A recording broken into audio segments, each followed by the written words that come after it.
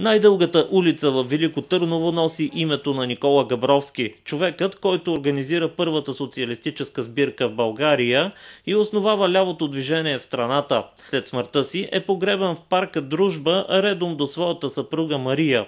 Днес надгробният паметник е в тежко състояние. Що ме поставям в един от а, знаковите паркове на Велико Търново, явно нашите предци са преценили, че а, това е важна а, личност от обществения живот не само на Велико Търново, а и на България. Затова всички паметници еднакво трябва да бъдат поддържани.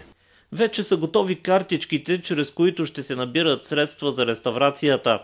Не само паметникът обаче е в лошо състояние – Пространството около него е превърнато в велосипедна площадка, изкъртена е и част от оградата на гроба.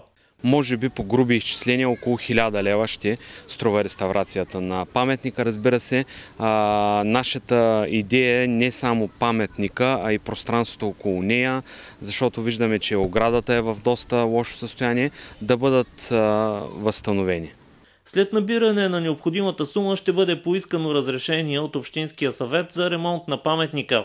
В същия парк се намират гробовете на още знакови личности като Колю Фичето, Христо Караминков, Добри Войников, Венета и Иванка Ботеви.